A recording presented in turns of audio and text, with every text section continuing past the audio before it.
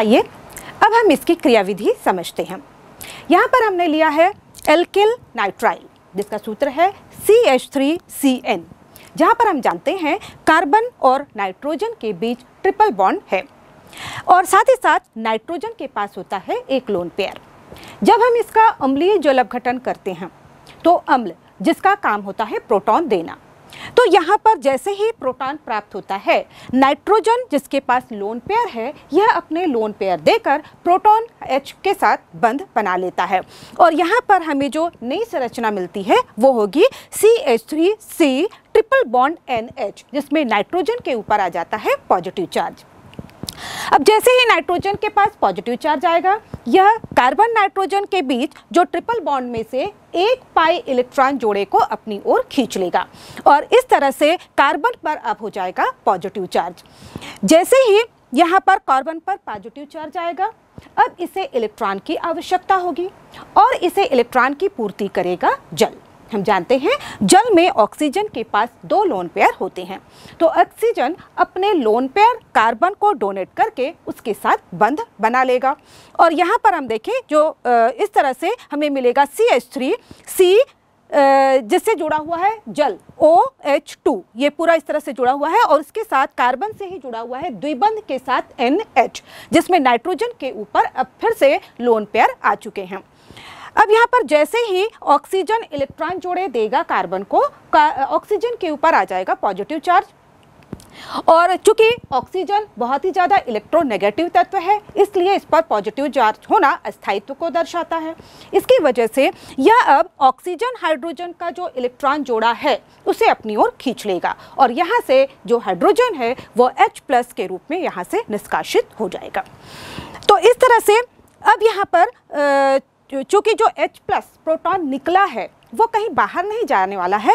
यहाँ पर चूँकि नाइट्रोजन के पास फिर से लोन पेयर आ चुके हैं तो यह इस प्रोटॉन को फिर से अपने लोन पेयर देकर उसके साथ बंद बना लेगा। और इस तरह से यहाँ पर हमारे पास जो नई संरचना होगी, वो होगी सी एच थ्री सी यहाँ पर कार्बन से जुड़ा हुआ है ओ OH समूह और साथ ही साथ कार्बन से जुड़ा है द्विबंध के साथ एन एच टू समूह। अब यहाँ पर जैसे ही नाइट्रोजन पर, क्योंकि ये प्रोटॉन ग्रहण कर चुका है तो नाइट्रोजन के ऊपर यहाँ पर फिर से पॉजिटिव चार्ज आएगा और इसकी वजह से यह कार्बन नाइट्रोजन के बीच जो एक और पाई इलेक्ट्रॉन जोड़ा है, अब उसे वह खींच लेगा। और इस तरह से अब यहाँ पर जो कार्बन है, उस पर आ जाएगा पॉजिटिव चार्ज। जैसे ही कार्बन पर पॉजिटिव चार्ज आएगा यह यहाँ पर जो ओ OH समूह यहाँ पर जुड़ा हुआ है, उसमें से जो ऑक्सीजन है, वह अपने इलेक्ट्रॉन जोड़े देकर कार्बन ऑक्सीजन के बीच द्विबंध का निर्माण करेगा।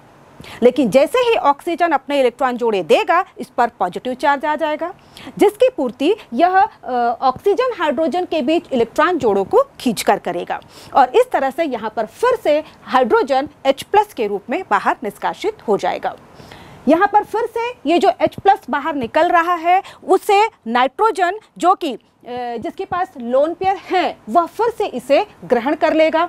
और इस तरह से यहाँ पर जो हमें संरचना मिल जाएगी, वो हो जाएगी C H three C double bond O N H two यहाँ पर जो संरचना ये हमें एमाइड मिली है और एमाइड जो है, यहाँ पर नाइट्रोजन के पास, क्योंकि लोन पेयर हैं, और इसलिए यह जो निष्कासित प्रोटॉन है, उसे यहाँ पर ग्रहण कर लेगा। और इस तरह से हमें मिलेगी जो नई संरचना होगी, वो होगी C H three C double bond O और साथ ही साथ कार्बन से ही जुड़ा हुआ होगा एन एच थ्री जिसमें चूँकि प्रोटॉन ग्रहण चुका है ग्रहण कर चुका है नाइट्रोजन इसलिए इस पर आ जाएगा पॉजिटिव चार्ज अब चूँकि यहाँ पर NH3 प्लस है इसलिए अब ये जो NH3 प्लस है आ, बड़ी आसानी से कार्बन और नाइट्रोजन के इलेक्ट्रॉन जोड़े को लेकर यह NH3 अमोनिया के रूप में बाहर निकल जाएगा। और जैसे ही अमोनिया बाहर निकलती है यहाँ पर हमें जो मध्यवर्ती स्पीसीज मिलेगी वह हो जाएगी सी एच थ्री सी जिस पर पॉजिटिव चार्ज होगा और उससे जुड़ा होगा डबल बॉन्ड ओ अब यहाँ पर कार्बन बहुत ही ज़्यादा धनात्मक आवेश होने की वजह से इसे इलेक्ट्रॉन डेफिशिएंट हो जाएगा और इसे इलेक्ट्रॉन की पूर्ति अब फिर से करेगा जल का अणु। यहाँ से जल का अणु इससे ऑक्सीजन जो है अपने लोन पेयर देकर इसके साथ बंध बना लेगा और इस तरह हमें नई संरचना मिलेगी C H three C double bond O और साथ ही साथ कार्बन से ही जुड़ा होगा ओ एच टू जैसे ही ऑक्सीजन कार्बन को अपने इलेक्ट्रॉन जोड़े देकर बंद बनाएगा, यहाँ पर ऑक्सीजन के ऊपर फिर से पॉजिटिव चार्ज आ जाएगा और इसे निरस्त करने के लिए वह ऑक्सीजन हाइड्रोजन के बीच के इलेक्ट्रॉन जोड़े को लेगा और यहाँ से प्रोटॉन H प्लस के रूप में निष्कासित हो जाएगा। और आप देख सकते हैं, हम अपने फाइनल प्रोडक्ट के तरफ़ पहुँच गए हैं और ये संरचना हो गई C H three C double bond O और साथ ही साथ कार्बन से ही जुड़ा हुआ है ओ एच समूह। यानी कि हमें मिल गया है फिर से कार्बोक्सिलिक अम्ल। इस पूरी प्रक्रिया में आपने देखा कि जल के दो अणु ने भाग लिया है, साथ ही साथ यहाँ पर हम देख रहे हैं कि शुरुआत में ही यहाँ पर अम्ल, यानी कि प्रोटॉन के रूप में उपयोग हुआ, बीच में यह निष्कासित हुआ, फिर से उपयोग हुआ और अंत में पुनः H प्लस के रूप में बाहर निकल गया। यानी इस पूरी प्रक्रिया में जो प्रोटॉन है, यानी कि जो अम्ल है, वह एक उत्प्रेरक के रूप में उपयोग किया जा रहा है, जो कि क्रिया में भाग तो लेता है, लेकिन अंत में वापस बाहर निकल जाता है। तो यह है नाइट्राइल के द्वारा कार्बोक्सिलिक अम्ल प्राप्त करने की अभिक्रिया की क्रियाविधि। आइए, अब हम कार्बोक्सिलिक अम्ल प्राप्त करने की एक और विधि जानते हैं और ये विधि है ग्रिन्यार अभिकर्मक से। ग्रीनार रिजन के द्वारा हम कार्बोक्सिलिक अम्ल कैसे प्राप्त करेंगे? हम जानते हैं ग्रीनार अभिकर्मक होता है एल्किल मैग्नीशियम हेलाइड। उदाहरण के लिए हम ले रहे हैं यहाँ पर आर एम जी एक्स या हम आर की जगह पर कोई भी एल्किल या एरुल समूह हो सकता है। अब यहाँ पर जो ग्रीनार रिजेंट है इसमें हम जानते हैं मैग्नीशियम धातु होती है, जिस पर पॉजिटिव चार्ज होता है, जो कि ये इलेक्ट्रो पॉजिटिव है। और साथ ही साथ उससे जुड़ा हुआ जो एल्किल समूह है, या एरिल समूह होगा, उस पर नेगेटिव चार्ज होता है। यानी कि यहाँ पर जो कार्बन है, उस पर नेगेटिव चार्ज है, और ये इस तरह से एक न्यूक्लियोफाइल की तरह कार्य करेगा। या समझ लीजिए कि इलेक्ट्रॉन देने वाले समूह की तरह कार्य करेगा। तो यहाँ पर हम जब एल्किल मैग्नीशियम हेलाइड ग्रेनाड अभिकर्मक की क्रिया कार्बन डाइऑक्साइड से कराते हैं तो यहाँ पर हमें, और फिर उसका जब हम जल अपघटन करते हैं तो हमें सीधे ही कार्बोक्सिलिक अम्ल प्राप्त होते हैं। इस अभिक्रिया में होता यह है कि जो ग्रेनार अभिक्रमक है, जिसमें हम मैग्नीशियम पर पॉजिटिव चार्ज देख रहे हैं और एल्किल समूह पर, के कार्बन पर नेगेटिव चार्ज है, जब इसकी कार्बन डाइऑक्साइड से क्रिया होती है। तो अब कार्बन में कार्बन डाइऑक्साइड में एक कार्बन है और दो ऑक्सीजन है, दोनों ऑक्सीजन इलेक्ट्रोनेगेटिव हैं। तो कार्बन ऑक्सीजन के बीच जो इलेक्ट्रॉन जोड़ा है या द्विबंध है, उसमें से पाई इलेक्ट्रॉन जोड़ा किसी भी ऑक्सीजन पर शिफ्ट हो जाता है, जिससे ऑक्सीजन पर नेगेटिव चार्ज आ जाएगा और कार्बन पर पॉजिटिव चार्ज आ जाएगा। तो यहाँ पर कार्बन पर जो पॉजिटिव चार्ज है इससे अब जो हमारा एल्किल मैग्नीशियम हेलाइट का एल्किल समूह है, वो जाकर यहाँ पर जुड़ जाता है, क्योंकि वो इलेक्ट्रोनेगेटिव है और इस तरह से वह वहाँ पर जुड़ जाता है। साथ ही साथ जो ग्रिन्यार अभिकर्मक का पॉजिटिव पार्ट है, यानी कि एम वाला समूह है, वह जाकर ऑक्सीजन से जुड़ जाता है, क्योंकि ऑक्सीजन पर यहाँ पर नेगेटिव चार्ज होता है। और इस तरह से यहाँ पर जो पूरा जो माध्यम होता है, वो ड्राई ईथर की उपस्थिति में कराई जाता है और यहाँ पर जो हमें मीडिएटर जो मिलेगा, मध्यवर्ती उत्पाद मिलेगा, वो होगा आर सी जिससे जुड़ा होगा डबल बॉन्ड ओ और साथ ही साथ कार्बन से जुड़ा होगा एक दूसरा ऑक्सीजन और जिसके दूसरे बंद की पूर्ति होगी एम जी एक्स के द्वारा। अब जैसे ही स्पीसीज का हम हाइड्रोलिसिस करते हैं अब यहाँ पर हम देख रहे हैं कि जो ऑक्सीजन है ओ एम जी एक्स में से जो ऑक्सीजन है, उस पर नेगेटिव चार्ज है और मैग्नीशियम पर पॉजिटिव चार्ज है। तो जब हम हाइड्रोलिसिस करेंगे तो हाइड्रोलिसिस से हमें H प्लस मिलेगा और ओ OH माइनस मिलेगा। तो यहाँ पर जो H प्लस होगा, वह ऑक्सीजन से जाकर जुड़ेगा, क्योंकि उस पर नेगेटिव चार्ज है और जो ओ OH समूह ओ OH माइनस समूह होगा, वह जुड़ जाएगा मैग्नीशियम से। और इस तरह से हमें फाइनल प्रोडक्ट मिल मिल जाएगा R C O O H साथ ही साथ यहाँ पर मैग्नीशियम हाइड्रोक्सी हेलाइड यहाँ पर हमें मिल जाएगा। तो इस तरह से बड़ी आसानी से हम ग्रिनार रीजन का उपयोग करके कार्बोक्सिलिक एसिड प्राप्त कर सकते हैं। यहाँ पर आप देख रहे हैं कि जो कार्बोक्सिलिक एसिड बन रहा है, उसमें जो हमने एल्किल मैग्नीशियम हाइलाइड में जो एल्किल समूह लिया है, उससे एक कार्बन अधिक होते हैं। उदाहरण के लिए, यदि हम यहाँ पर मैथाइल मैग्नीशियम हेलाइड लेते हैं C H three M G B R लेते हैं, और इसकी क्रिया जब हम कार्बन डाइऑक्साइड से कराते हैं तो जो हमें कार्बोक्सिलिक अम्ल मिलेगा, वो होगा यहाँ पर एथेनोइक एसिड यानी कि C H three C O O H तो यहाँ पर हम देख रहे हैं, जो एल्किल समूह था ग्रीना रिजेंट में उसमें एक ही कार्बन था, जबकि हमें जो कार्बोक्सिलिक अम्ल मिल रहा है, उसमें दो कार्बन है। तो यहाँ पर हम देख रहे हैं कि जो यहाँ श्रेणी का अवरोहण होता है, यहाँ पर जो श्रृंखला है कार्बन श्रृंखला में वृद्धि होती है। अब यहाँ पर हम देख चुके हैं, इसके पहले अभिक्रिया में हमने देखा था, जिसमें हमने देखा था कि नाइट्राइल के द्वारा भी हम कार्बोक्सिलिक एसिड प्राप्त करते हैं, और इस तरह यहाँ पर हमने देखा कि एल्किल मैग्नीशियम हेलाइड यानी कि ग्रीना रीजन के द्वारा भी हम कार्बोक्सिलिक एसिड प्राप्त कर सकते हैं। और हम ये भी जानते हैं कि एल्किल नाइट्राइल या फिर ग्रीना रीजन, ये दोनों ही एल्किल हैलाइडों से प्राप्त किए जाते हैं। यानी कि इस दोनों अभिक्रियाओं का उपयोग हम सीधे एल्किल हैलाइड से कार्बोक्सिलिक अम्ल प्राप्त करने के लिए कर सकते हैं। यहाँ पर हम उदाहरण भी दे सकते हैं, जैसे कि हमने लिया है methyl chloride C S three C L अब यहाँ पर जब हम इसकी क्रिया पोटेशियम साइनाइड से कराते हैं तो यहाँ पर जो क्लोरो समूह होता है, वो साइनो समूह सी एन माइनस के द्वारा प्रतिस्थापित हो जाता है और हमें मिल जाता है C H three C N अब यहाँ पर नाइट्राइल का जैसे ही हम हाइड्रोलिसिस करेंगे तो हाइड्रोलिसिस पहले हम जब करते हैं अम्लीय जल अपघटन जब हम करेंगे तो हमें मिलेगा C S three C double bond O और साथ ही साथ मिलेगा एन एच टू क्योंकि यहाँ पर जो जल अपघटन करने पर जो ऑक्सीजन है वो कार्बन के साथ जुड़ेगा और जो दोनों हाइड्रोजन है वो नाइट्रोजन के साथ जुड़ जाएँगे। और इसका हम आगे और जल अपघटन करते हैं। तो यहाँ पर हमें सीधे कार्बोक्सिलिक अम्ल प्राप्त होते हैं और साथ ही अमोनिया मिलती है। इसी तरह से यदि हम एल्किल क्लोराइड ले रहे हैं C H three C L ले रहे हैं और इसकी क्रिया मैग्नीशियम से कराएँगे तो हमें ग्रीनारिजेंट मिल जाएगा C H three M G C L और इसकी क्रिया वापस जब हम कार्बन डाइऑक्साइड से कराएँगे तो हमें मिल जाएगा कार्बोक्सिलिक अम्ल। तो इस तरह से इन विधियों का उपयोग करके हम सीधे एल्किल हाइलाइडों से कार्बोक्सिलिक अम्ल प्राप्त कर सकते हैं। इसके बाद हम देख रहे हैं एक और विधि एसिल हाइलाइडों के द्वारा कार्बोक्सिलिक एसिड प्राप्त करना। एसिल हाइलाइडों के जल अपघटन के द्वारा हम सीधे ही कार्बोक्सिलिक अम्ल प्राप्त कर सकते हैं। या फिर हम इनके क्षारीय जल अपघटन के द्वारा कार्बोक्सिलेट आयन प्राप्त करते हैं और उसका आगे प्रोटोनेशन करने पर अम्लीय जल अपघटन करने पर हमें कार्बोक्सिलिक अम्ल प्राप्त होता है।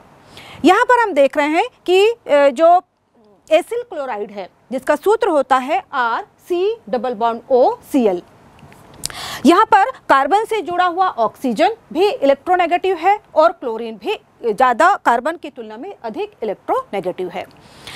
तो यहाँ पर जो ऑक्सीजन है, वह कार्बन ऑक्सीजन के बीच जो पाई इलेक्ट्रॉन जोड़ा है, उसे अपनी तरफ़ खींचेगा। लेकिन पुनः यह बैक बॉन्डिंग करके इलेक्ट्रॉन पेयर दे देता है और यहाँ पर चूँकि क्लोरीन बहुत अच्छा लिविंग ग्रुप होता है, इसलिए यह कार्बन क्लोरीन के बीच के इलेक्ट्रॉन जोड़े को लेकर Cl माइनस के रूप में बाहर निकल आता है। जैसे ही यह Cl माइनस के रूप में बाहर निकलेगा, यहाँ पर कार्बन पर पॉजिटिव चार्ज आ जाएगा। इसे इलेक्ट्रॉन की आवश्यकता होगी और इसे इलेक्ट्रॉन की पूर्ति करेगा जल। जल में ऑक्सीजन के ऊपर लोन पेयर होते हैं, जिससे यह कार्बन को डोनेट करेगा और इसके साथ बंध बना लेगा। और हमें नई स्पीसीज मिलेगी R C double bond O O H two यहाँ पर ऑक्सीजन पर होगा पॉजिटिव चार्ज क्योंकि इसने अपने लोन पेयर बंध बनाने के लिए दिए हैं।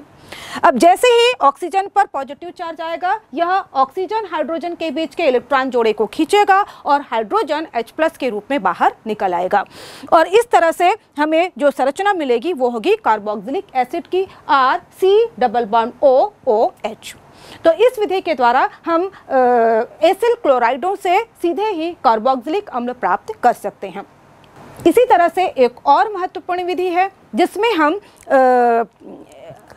एसिल एनहाइड्राइड के द्वारा, एसिल एनहाइड्राइड के द्वारा कार्बोक्सिलिक एसिड प्राप्त करते हैं। एसिल एनहाइड्राइड जैसे कि यहाँ पर हम ले रहे हैं बेंजोइक एनहाइड्राइड आपको बता दें कि जो एनहाइड्राइड बनते हैं, वो अम्लों के दो अणुओं के बीच से एक जल का अणु निष्कासित हो जाने के द्वारा बनते हैं। तो यहाँ पर हम देख रहे हैं, ये जब हमने लिया है बेंजोइक एनहाइड्राइड तो ये बना है बेंजोइक एसिड के दो अणुओं के बीच से एक जल का अणु निष्कासित होने के बाद।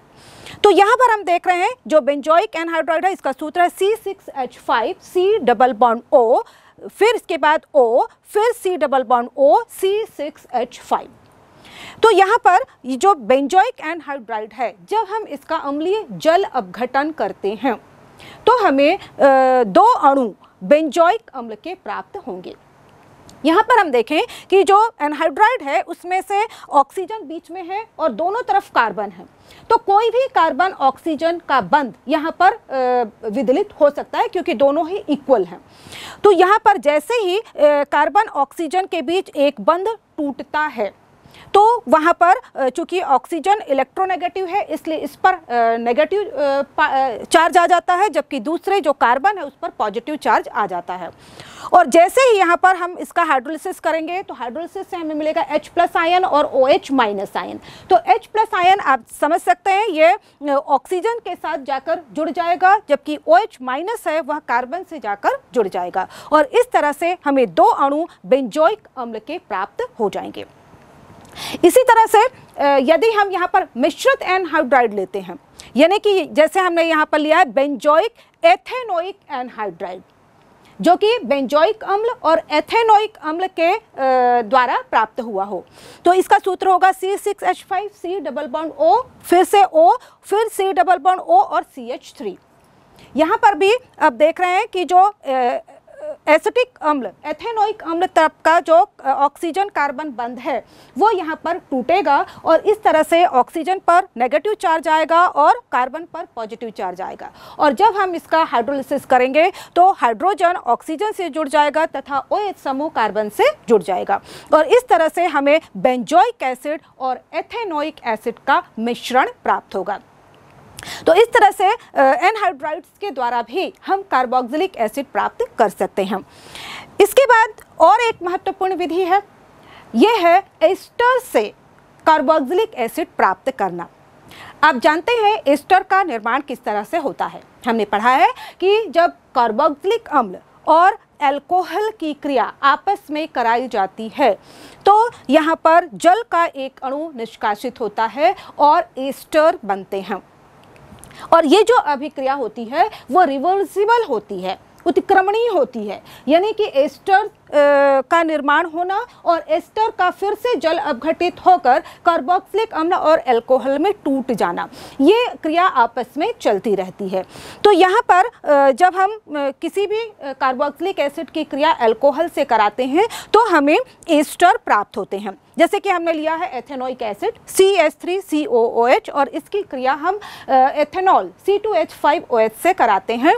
तो यहाँ पर हम देखें, दोनों के बीच से जल का एक अणु बाहर निष्कासित हो जाएगा और हमें मिलेगा ester C H three C O O C two H five इस तरह से प्राप्त जो एस्टर हैं, इन एस्टर का वापस यदि हम अम्लीय जल अपघटन करते हैं तो हमें फिर से कार्बोक्सिलिक अम्ल तथा एथेनॉल प्राप्त हो जाएँगे। इसी तरह से मान लीजिए हमने यहाँ पर लिया है एथिल बेंजोएट यानी कि C six H five C O O C two H five ethyl benzoate ये एस्टर हमने लिया है। और जब हम इसका जलअपघटन करेंगे तो यहाँ पर जो कार्बन और ऑक्सीजन का जो बंध है, वह टूटेगा। ऑक्सीजन पर नेगेटिव चार्ज आएगा, कार्बन पर पॉजिटिव चार्ज आएगा। और जब हम इसका जलअपघटन करेंगे तो हमें मिलेगा H प्लस और O OH minus H plus जुड़ जाएगा नेगेटिव चार्ज ऑक्सीजन से, जबकि ओ OH जुड़ जाएगा कार्बन से। और इस तरह से हमें यहाँ पर मिलेगा benzoic acid. C six H five C O O H और साथ ही साथ मिलेगा यहाँ पर ethanol C two H five O H तो इस तरह से हम एस्टर्स के जल अपघटन के द्वारा बड़ी आसानी से कार्बोक्सिलिक अम्ल और एथेनॉल प्राप्त कर सकते हैं। इसी तरह से मान लीजिए हमने यहाँ पर लिया है एथिल ब्यूटिनोएट यहाँ पर दोनों ही समूह जो है, वह एल्किल समूह है। तो यहाँ पर भी हम इसी तरह से जल अपघटन करेंगे। तो जो बड़ी श्रृंखला है है ना, वो हमें एसिड के रूप में प्राप्त होगी और ये होगी ब्यूटेनोइक एसिड और साथ ही साथ जो छोटा एल, एल्कॉक्सी समूह है C two H five O है, उसके साथ जुड़ जाएगा ओ एच माइनस और हमें यहाँ पर मिलेगा जो C two H five O समूह है, उससे जुड़ जाएगा हाइड्रोजन और इस तरह से हमें मिलेगा ethanol C two H five O H तो इस तरह से एस्टर के जल अपघटन के द्वारा भी हम कार्बोक्सिलिक एसिड प्राप्त कर सकते हैं। तो ये भिन्न भिन्न प्रकार की विधियाँ हमने जानी, जिनके द्वारा हम कार्बोक्सिलिक एसिड का निर्माण कर सकते हैं। आइए, अब हम कार्बोक्सिलिक एसिड से संबंधित कुछ कन्वर्जन रिएक्शन रूपांतरण अभिक्रियाओं को देखते हैं। मान लीजिए, हमारे पास दिया हुआ है, ब्यूटेन वन ऑल से ब्यूटेनोइक एसिड किस तरह से बनाएँगे? तो आप देख सकते हैं ब्यूटेन वन ऑल, यानी कि इसमें का, चार कार्बन परमाणु की एक श्रृंखला है जिसमें कि हाइड्रोक्सिल समूह जुड़ा हुआ है।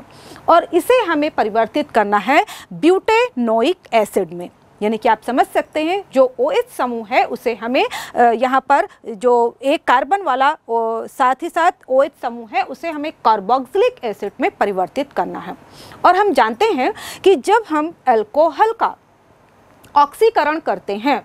तो ऑक्सीकरण करने के द्वारा हम इसे कार्बोक्सिलिक एसिड प्राप्त कर सकते हैं। और यहाँ पर हम कोई भी ऑक्सीडाइजिंग एजेंट यूज़ कर सकते हैं। जैसे कि यहाँ पर हम ले सकते हैं क्रोमियम ऑक्साइड और सल्फ्यूरिक एसिड का मिश्रण, जिसे हम कहते हैं जोन्स रीजन। तो इसके द्वारा सीधे ही जो अल्कोहल हैं, उनका ऑक्सीडेशन करके हम कार्बोक्सिलिक एसिड प्राप्त कर सकते हैं। तो इस तरह से ब्यूटेन वन ऑल का क्रोमियम ऑक्साइड और सल्फ्यूरिक एसिड की उपस्थिति में ऑक्सीडेशन करने पर हमें ब्यूटेनोइक एसिड प्राप्त हो जाएगा। इसी तरह से, मान लीजिए दूसरा उदाहरण यहाँ पर दिया हुआ है। बेंजाइल अल्कोहल से फेनिल एथेनोएट अम्ल प्राप्त करना किस तरह से किया जाएगा? तो यहाँ पर हम देख रहे हैं कि जो बेंजाइल एल्कोहल है, इसका सूत्र होगा C6H5CH2OH अब यहाँ पर भी, यहाँ पर जो बेंजॉयल एल्कोहल समूह है, यहाँ पर CH2OH में से जो OH समूह है, इसको हमें परिवर्तित करना है देखिए फेनिल एथेनोएट अम्ल में। तो यहाँ पर हम देख रहे हैं कि जो बेंजीन है, उससे एक ही कार्बन CH2OH जुड़ा हुआ है, जबकि हमें इसे परिवर्तित करना है एथेनोएट अम्ल में। यानी कि यहाँ पर हमें एक कार्बन को बढ़ाना होगा। यानी कि यहाँ पर हमें श्रृंखला का अवरोहण करना होगा। और श्रृंखला का अवरोहण करने के लिए हम जानते हैं कि पहले जो OH समूह है, इससे हमें किसी भी एल्काइल समूह से प्रतिस्थापित करना होगा। तो यहाँ पर हम इसकी क्रिया करा लेते हैं हाइड्रोजन ब्रोमाइड से। और इस तरह से जैसे ही हम हाइड्रोजन ब्रोमाइड से क्रिया कराएँगे, जो ओ OH समूह है, वह प्रोटॉन ग्रहण करके जल के रूप में निष्कासित हो जाएगा और ये जो है बी आर समूह वहाँ पर प्रतिस्थापित हो जाएगा। तो इस तरह से हमें मिल जाएगा बेंजाइल ब्रोमाइड। अब हम जानते हैं ब्रोमाइड समूह को आसानी से साइनो समूह के द्वारा प्रतिस्थापित किया जा सकता है। और इस तरह से जब हम इसकी क्रिया पोटेशियम साइनाइड से करेंगे तो पोटेशियम पॉजिटिव चार्ज होने की वजह से ब्रोमाइड को अपने साथ केबीआर के रूप में बाहर निकाल लेगा और जो साइनो समूह है, वह यहाँ पर कार्बन से जुड़ जाएगा। और इस तरह से हम देख रहे हैं कि यहाँ पर एक कार्बन की बढ़ोतरी हो चुकी है। अब हम जानते हैं कि जो नाइट्राइल्स होते हैं उनका जल हम आ, आगे जल अपघटन करते हैं। तो यहाँ पर जब हम जल अपघटन करेंगे तो कार्बन के साथ जुड़ेगा ऑक्सीजन और जल का जो दोनों हाइड्रोजन होगा वो नाइट्रोजन के साथ जुड़ जाएगा। तो इस तरह से हमें मिल जाएगा C six H five C H two C double bond O N H two और जब हम इसका आगे जल अपघटन करेंगे तो हमें मिल जाएगा यहाँ पर एमाइड यहाँ पर हो जाएगा यह C six H five C H two C double bond O N H two तो इस तरह से हमें एमाइड मिलेगा और हम जानते हैं कि एमाइड को थोड़े से और अम्ल, अम्लीय माध्यम में गर्म करने पर हमें मिल जाएगा यहाँ पर कार्बोक्सिलिक एसिड यानी कि benzyl ethanoic acid six six H five C H two C O O H तो इस तरह से हमने यहाँ पर कार्बन श्रृंखला का अवरोहण किया और इसके लिए हमने ब्रोमाइड को प्रतिस्थापित किया साइनो समूह से और साइनो समूह का फिर हमने जल अपघटन किया, जिससे हमें यहाँ पर कार्बोक्सिलिक एसिड प्राप्त हुआ। तो इस तरह से यहाँ पर हम बेंजॉइल अल्कोहल से फेनिल एथेनोएट प्राप्त कर पाए। इसी तरह से एक और उदाहरण ले रहे हैं। यहाँ पर हमारे पास है नाइट्रो ब्रोमोबेंजिन यहाँ पर थ्री नाइट्रो ब्रोमोबेंजिन और इसे हमें परिवर्तित करना है थ्री नाइट्रो बेंजोइक एसिड में।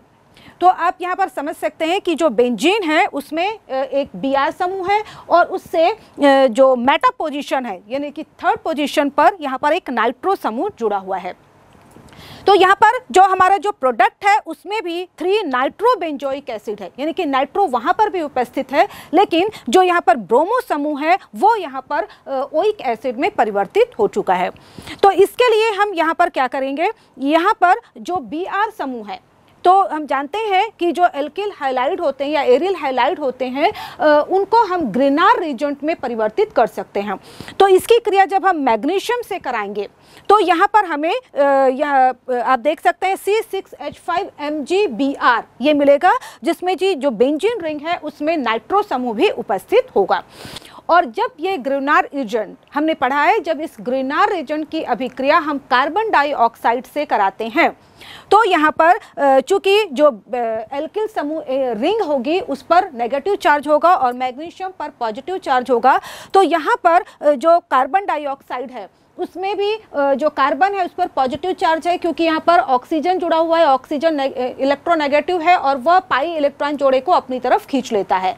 तो यहाँ पर अब ये जो रिंग है, जिस पर नेगेटिव चार्ज है, वो सीधे जाकर कार्बन से जुड़ जाएगी। और इस तरह से हमें मिलेगा C six H five C double bond O और साथ ही साथ कार्बन से जुड़ा होगा O M G B R और इसका जब हम आगे जल अपघटन करेंगे तो हमें मिल जाएगा थ्री नाइट्रो बेंजोइक एसिड तो इस तरह से जिन अभिक्रियाओं को हमने पढ़ा है, उनका ही स्टेप बाय स्टेप उपयोग करते हुए हम अपने प्रोडक्ट तक पहुँच जाते हैं।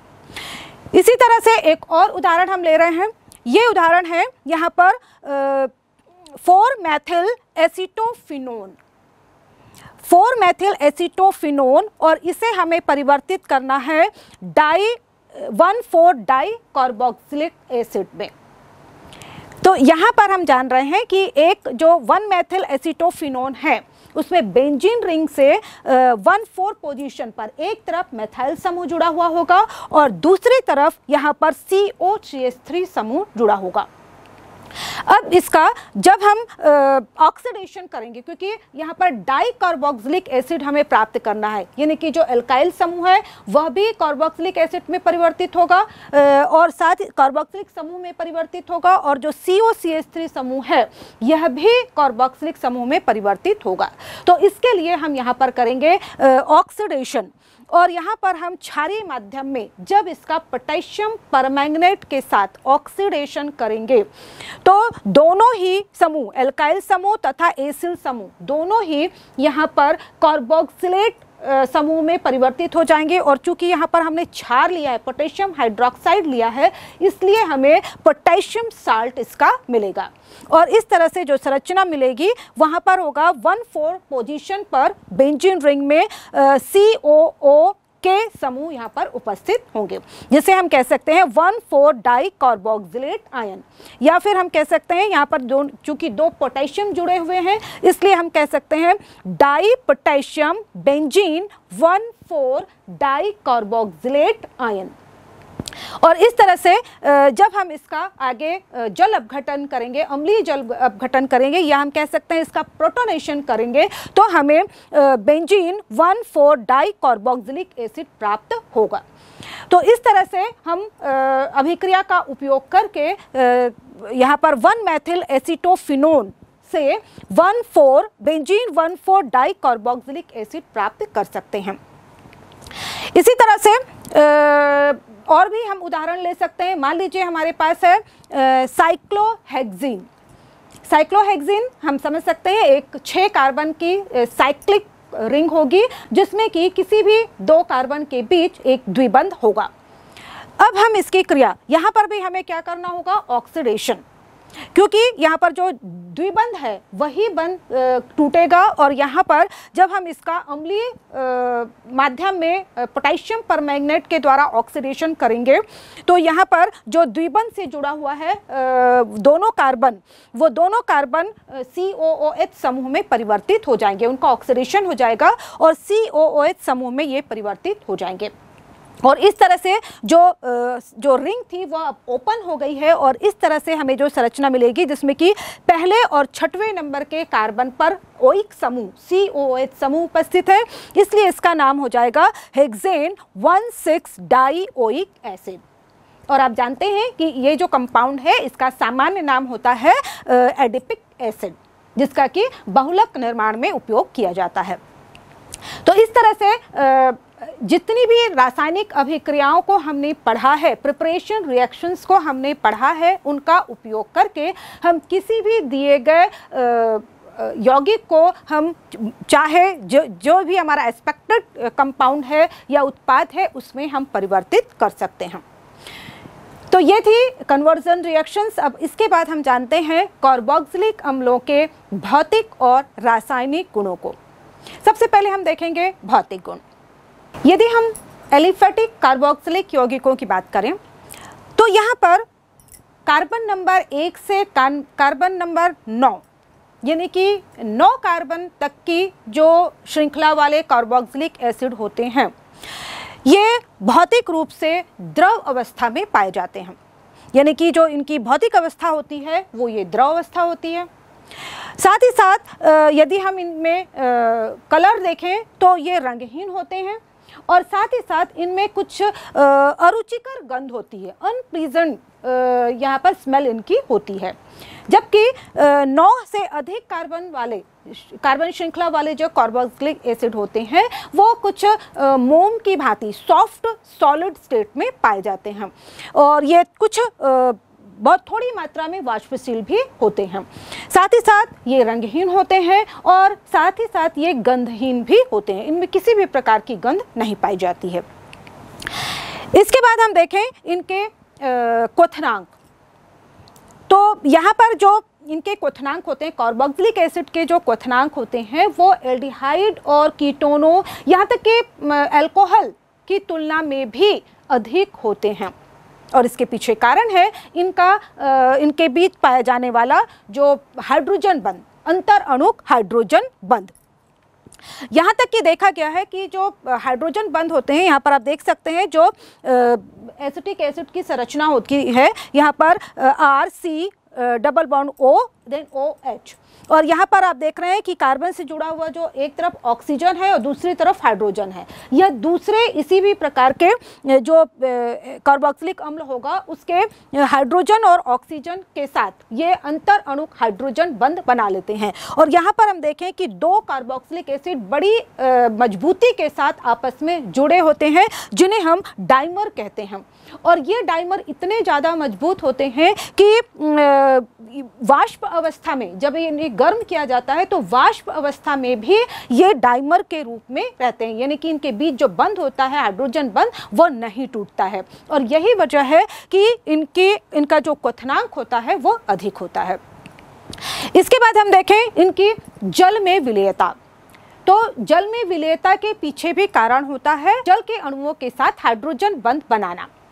लेकिन यहाँ पर हम देखें कि जो कम कार्बन श्रृंखला वाले कार्बोक्सिलिक एसिड होते हैं, लगभग तीन से चार कार्बन वाले जो कार्बोक्सिलिक एसिड होते हैं, वो तो बड़ी आसानी से जल में घुल जाते हैं। लेकिन जैसे जैसे ही कार्बन श्रृंखला बढ़ती है, यानी कि एल्काइल एल्काइल समूह बढ़ता है, और हम जानते हैं कि जो एल्काइल समूह होते हैं, वो हाइड्रोफोबिक नेचर के होते हैं, जल विरागी स्वभाव के होते हैं। इसलिए एल्किल श्रृंखला के बढ़ते जाने से इनकी जल में विलेयता धीरे धीरे कम होती जाती है। दूसरी ओर, यहाँ पर हम देखें जो एरोमेटिक कंपाउंड्स होते हैं तो उनमें भी जो छोटे एरोमेटिक कार्बोक्सिलिक एसिड होंगे, कम कार्बन श्रृंखला वाले जैसे कि हम यहाँ पर देख सकते हैं बेंजोइक एसिड तो बेंजोइक एसिड ठंडे जल में तो जल में नहीं घुलता है, लेकिन यदि गर्म जल लिया जाए तो यह उसमें घुल जाता है। इसके अलावा जितने भी एरोमेटिक कार्बोक्सिलिक समूह होते हैं, कार्बोक्सिलिक यौगिक होते हैं, ये कार्बनिक विलायकों में, जैसे कि बेंजिन है, ईथर है एल्कोहल है, इसमें बड़ी आसानी से घुल जाते हैं। तो ये है कार्बोक्सिलिक अम्लों के भौतिक गुण। आइए अब हम जानते हैं इनके रासायनिक गुणों को। कार्बोक्सिलिक अम्लों के जो रासायनिक गुण है या इनकी रासायनिक अभिक्रिया है इनकी संरचना के आधार पर या इनमें होने वाले बंद के विदलन के आधार पर हम इन्हें चार भागों में बांट सकते हैं। आप देख सकते हैं, यहाँ पर जो कार्बोक्सिलिक एसिड है, उसकी संरचना होगी आर सी ओ एच और साथ ही साथ एक कार्बन से यहाँ पर जुड़ा हुआ है डबल बॉन्ड ओ तो यहाँ पर, जो पहली रासायनिक अभिक्रियाएँ, वो रासायनिक अभिक्रिया होंगी जिसमें कि यहाँ पर ओ एच बंद का विदलन होगा। यानी कि ओ एच बंद का जब विदलन होगा तो यहाँ पर हाइड्रोजन है, वो H प्लस आयन के रूप में बाहर निकलेगा। और समझ, आप समझ सकते हैं कि जब H प्लस आयन देने का जो कार्य होता है वह अम्लीय प्रकृति को दर्शाता है। यानी कि इसमें वो अभिक्रियाएँ शामिल होंगी जो कि इनकी अम्लीय प्रकृति को दर्शाएँगी। दूसरे प्रकार की अभिक्रियाएँ वो होंगी जिसमें कि पूरे ओ एच बंध बाहर निकलेगा। ओ यहाँ पर कार्बन ऑक्सीजन के बीच जो बंद है, वह टूटेगा, यानी कि ओ एच समूह का यहाँ पर प्रतिस्थापन होगा। तीसरी प्रकार की वो अभिक्रियाएँ होंगी जिसमें कि पूरा कार्बोक्सिलिक समूह, यानी कि C double bond O O H ये भाग लेगा। और चौथी प्रकार की वो अभिक्रियाएँ होंगी जो कि कार्बोक्सिलिक समूह से जुड़े हुए एल्किल या एरिल समूह हैं। उनमें हाइड्रोजन को प्रतिस्थापित करने वाली जो अभिक्रियाएँ होंगी, यानी कि हाइड्रोकार्बन में होने वाली प्रतिस्थापन अभिक्रियाएँ। तो इस तरह से कार्बोक्सिलिक समूह की सभी रासायनिक अभिक्रियाओं को हम चार वर्गों में बांट देते हैं। तो सबसे पहले हम देखेंगे वो रासायनिक अभिक्रियाएँ जिनमें कि ओ एच बंद का विदलन होता है, यानी कि जो इसकी अम्लीय प्रकृति को दर्शाती हैं। जैसे कि हमने पहले भी देखा है कि जो अल्कोहल हैं या फिनॉल हैं, वो भी अम्लीय प्रकृति दर्शाते हैं। और जब हम इनकी क्रिया किसी सक्रिय धातु जैसे कि सोडियम से कराते हैं तो ये यहाँ पर साल्ट बनाते हैं और साथ ही साथ हाइड्रोजन गैस निकलती है। तो यहाँ पर जो कार्बोक्सिलिक एसिड होते हैं वह भी अल्कोहल और फिनॉल की भांति इस प्रकार की अभिक्रियाएँ देते हैं। जब हम अल्कोहल और फिनॉल की भांति जब हम कार्बोक्सिलिक अम्ल की क्रिया भी सोडियम धातु के साथ कराते हैं तो यहाँ पर जो कार्बोक्सिलिक अम्ल का सोडियम साल्ट बनता है, यानी कि सोडियम कार्बोक्सिलेट बनेगा और साथ ही साथ यहाँ पर हाइड्रोजन गैस निकलती है। और यह हाइड्रोजन गैस का निष्कासन दर्शाता है कि ये जो कार्बोक्सिलिक अम्ल होते हैं वह अम्लीय प्रकृति के होते हैं। इसके बाद हम देखें जो इनकी आ, अम्लीय प्रकृति को दर्शाने की दूसरी अभिक्रिया है। यहाँ पर हमने देखा था कि जब हम फिनॉल की क्रिया क्षार के साथ कराते हैं यानी कि सोडियम हाइड्रोक्साइड के साथ कराते हैं तो जो फिनॉल है, वो सोडियम हाइड्रोक्साइड यानी कि प्रबल क्षारों के साथ अभिक्रिया करके साल्ट बनाते हैं। साथ ही साथ यहाँ पर जल बनता है। इसी तरह से फिनॉलों की तरह ही कार्बोक्सिलिक अम्ल भी प्रबल क्षारों, ये जैसे कि सोडियम हाइड्रोक्साइड के साथ क्रिया करते हैं और यहाँ पर साल्ट बनाते हैं और जल निकलता है। जबकि ये अभिक्रिया अल्कोहल नहीं देते। जो ये दर्शाता है कि जो कार्बोक्सिलिक अम्ल है, वह फिनोलों की तरह ज़्यादा अम्लीय प्रकृति के होते हैं।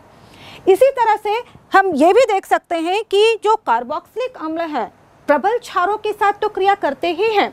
ये दुर्बल क्षार, जैसे कि सोडियम कार्बोनेट या सोडियम हाइड्रोजन कार्बोनेट, इनके साथ भी क्रिया कर लेते हैं।